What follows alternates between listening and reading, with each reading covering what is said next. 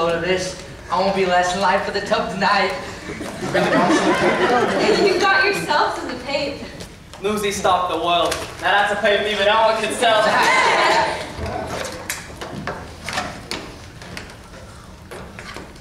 what else you got?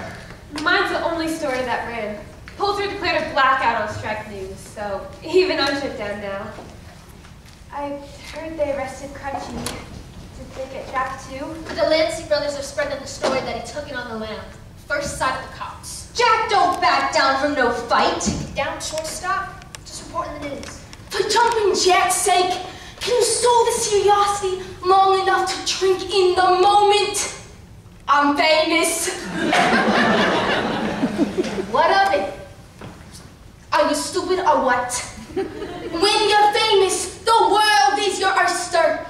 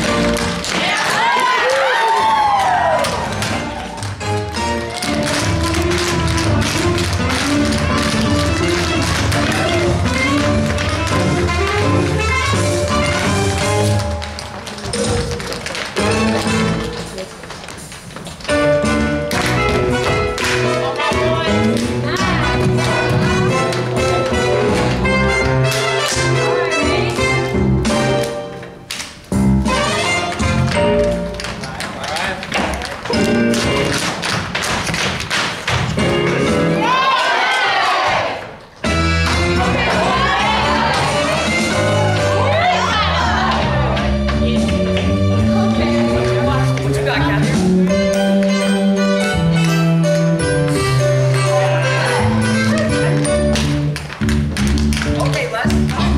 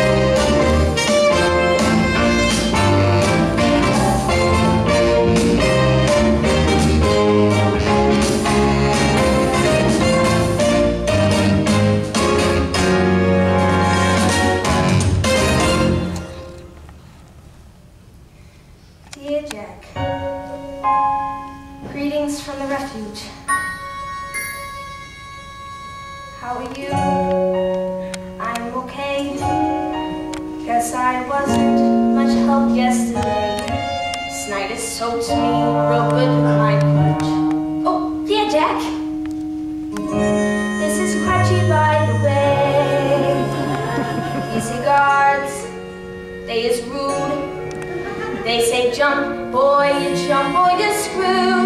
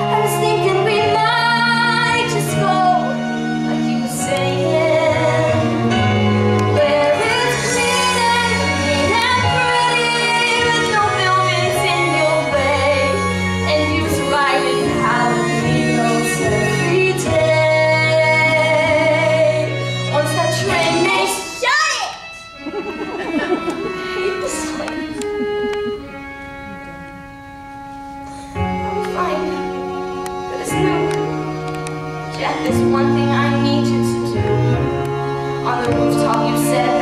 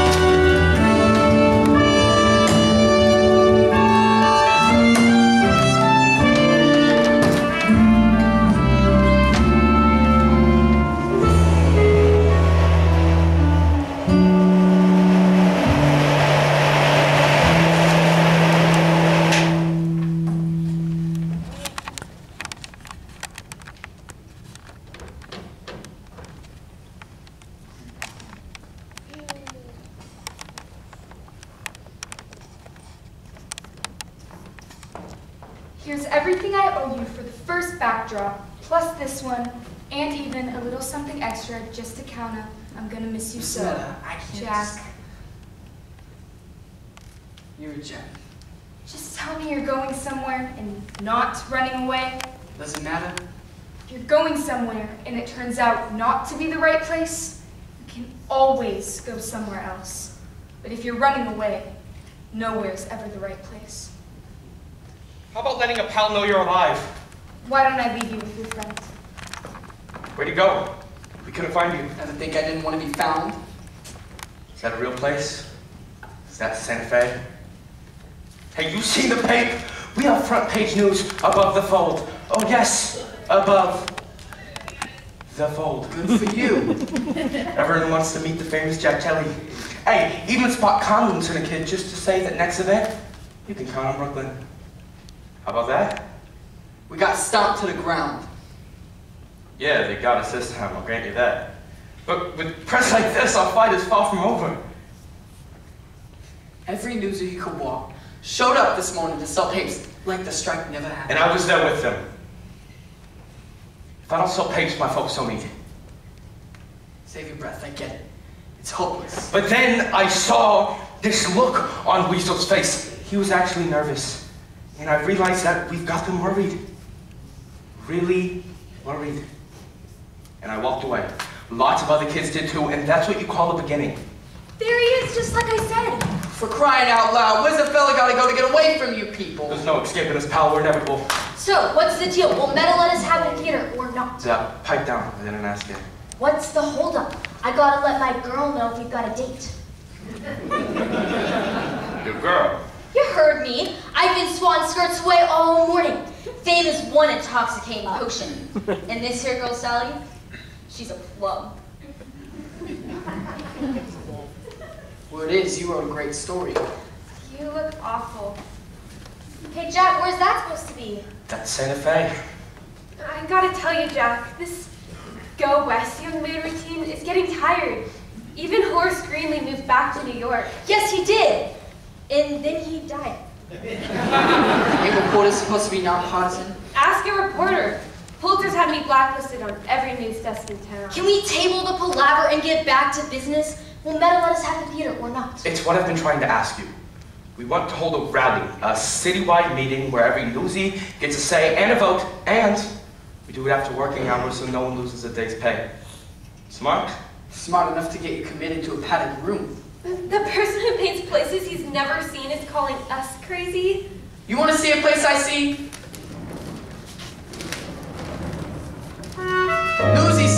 To my big mouth, filled to overflowing with failure. Kids hurt, others arrested. Can you lighten up?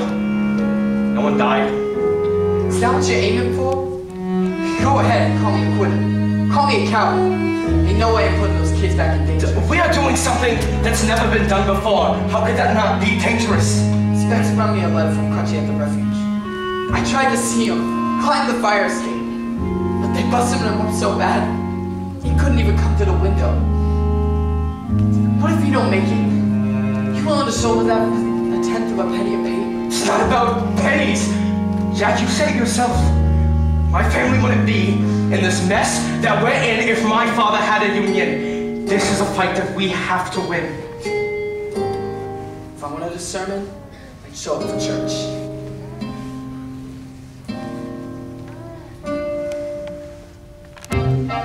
Tell me how quitting does Crutchy any good. Exactly. So here's how it goes. Once we win, and we will be winning, make no mistake.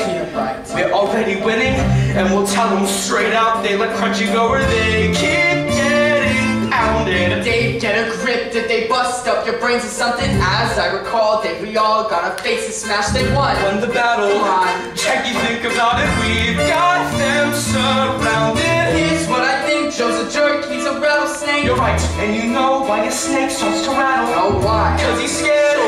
Go and look it up. The poor guy's head is spinning. Would we send for the goons? An entire army, dozens of goons, plus the cops and... You know, you may be right. Thank you, God. If he wasn't afraid, Exactly. he knows where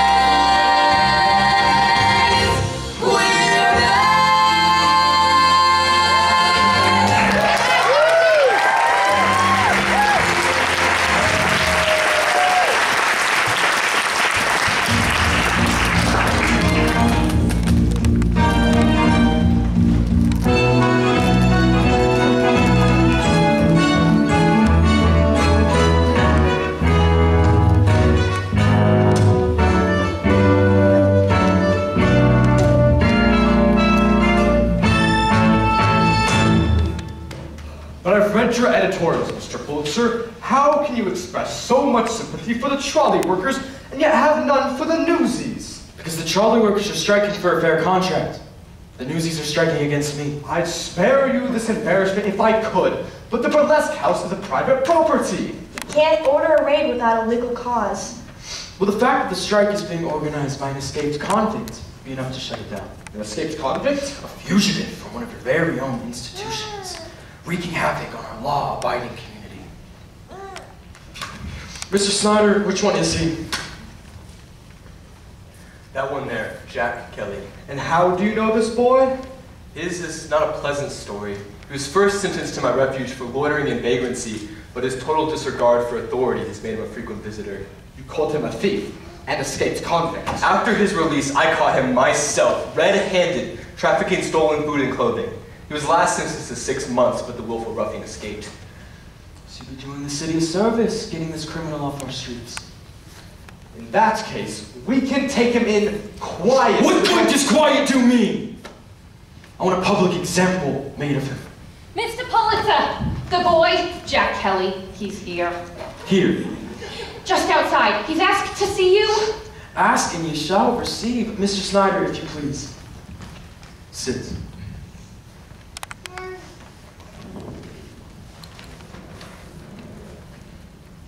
Mr. Jack Kelly. Afternoon, boys. And which Jack Kelly is this? The charismatic union organizer or the petty thief and escaped convict? Which one gives us more in common? Impudence is in bad taste when crawling for mercy. Crawling, that's a laugh. I just came with an invite. Seems a few hundred of your employees are gathering to discuss recent disagreements. I thought it only fair to give you a chance to state your case straight to the fellas. What do you say, Joe? One I should say you spot on the bill? You are as shameless and disrespectful a creature as I was told. You know what I was doing when I was your age, boy? I was fighting in a war. Yeah? How'd that turn out for you? It taught me a lesson that shaped my life forever. The war is not won on the battlefield. It's the headline that crowns the victor. I'll remember that when New York wakes up to front page photos of our rally. Rally till the cows come home. Not a paper in town will publish a word. If it's not in the papers, it never happens. You may run this city, but there are some of us who can't be bullied. Even some reporters. Such as that young woman who made you yesterday's news. Talented girl. And beautiful as well, don't you think? I'll tell her you said so. No need. She can hear for herself. Can't she, darling? Now I trust you know my daughter, Catherine. Yes, my daughter. You're probably asking yourself, why the nom de plume? Why doesn't my daughter work for me? See, good questions. I offered Catherine a life of wealth and leisure. Said she chose to pursue a career. She was showing real promise until this recent lapse. But you're all done with all that now, aren't you, darling? Jack, I... Don't trouble the boys with your problem, dearest. Uh. Mr. Kelly has a plate full on his own. Wouldn't you say so, Mr. Snyder? Hello, Jack. Does anyone else feel a noose tightening? But allow me to offer you an alternate scenario. You go and attend your rally, but then you speak against this hopeless strike. And then I will see your criminal record expunged and enough cash to carry you in a first-class train compartment from New York to New Mexico and beyond. You did say you wanted to travel west, didn't you, darling? There ain't a person in this room who don't know you stink. If they know me, they know I don't care. Mark my words, boy, defy me, and I will see you and every single one of your friends tossed to the refuge. Now I know you're Mr. Tough Guy, but it's not right to condemn that little crippled boy to conditions like that. And what about your pal Davy and his little brother torn from their loving families and tossed to the rats? How could they ever thank you enough? Time's running out, kid. So what do you say? Cowboy or convict, I win either way. Your abject surrender's always the bottom line. Gentlemen, if you could please escort our guest to the cellar so he may reflect in solitude. Bad you were Georgia, but you did resign. Too you're a family, but you can't have mine.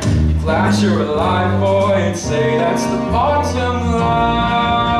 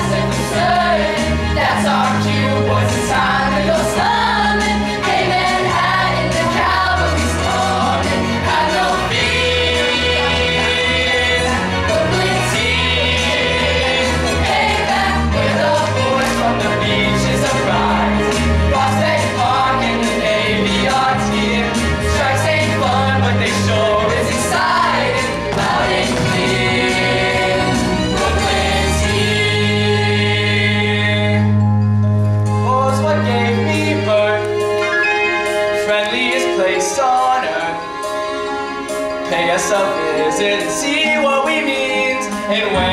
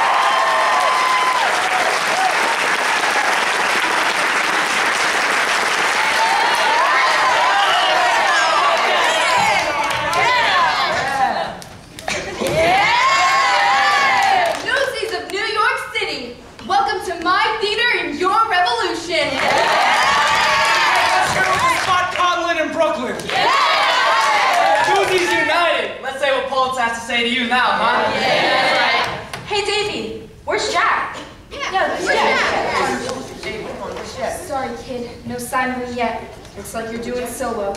Jack, Jack, Jack, Jack, Jack, Jack, Jack, Jack, Jack, Jack, Jack, Jack, Jack, Look what we've done. We've got newsies from every pape and neighborhood here tonight. Tonight, you're making history. Tonight we show those newspaper owners that we are just as much a part as any pape, as any editor or reporter. We are done being treated like kids. From now on, we will be treated as equals. You want to be talked to in like an adult? Start acting like that. Don't just run your mouth. And here's Jack.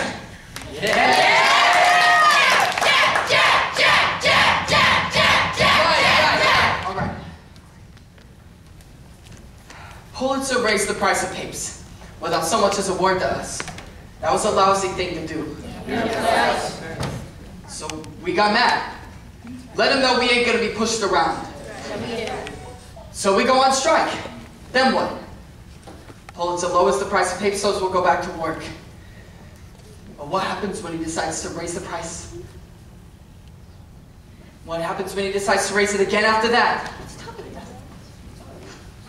Fellas, we gotta be realistic. We don't work, we don't get paid. How long can you go without making money? Well, long, believe me, Pulitzer can go longer. But I've spoken to Mr. Pulitzer. What? He What? assured What? me if we disband the union, for another two years, he'll even put it in writing.